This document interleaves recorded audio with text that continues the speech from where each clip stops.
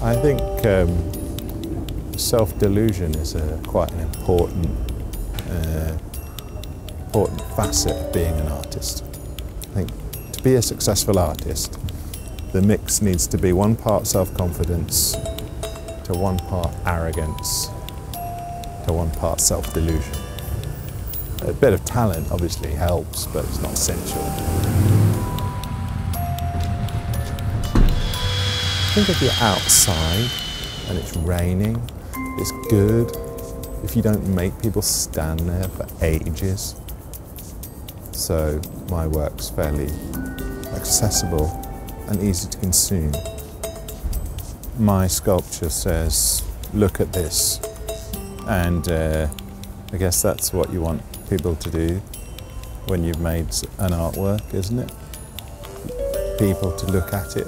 You know, it's efficient, isn't it? People are busy. This is London, you know. Everybody's got four jobs. My feelings about artwork that takes itself too seriously is that perhaps it should take itself less seriously and then it might be better. I think it's okay to piss off the art elite uh, because you know. They're elite. Doesn't matter, does it?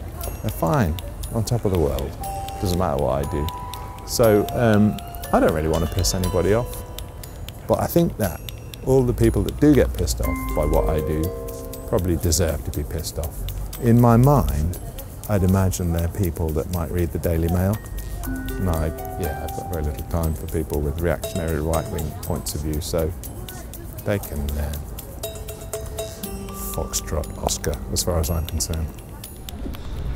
I used to work in an art gallery in Glasgow for quite a few years after I left art school, and um, had like we had to make a sign that said entrance and exit, and I had to do sign writing to write entrance, and then the director of the gallery, curator, was like. Um, uh, entrance. See, when I look at that, I read entrance.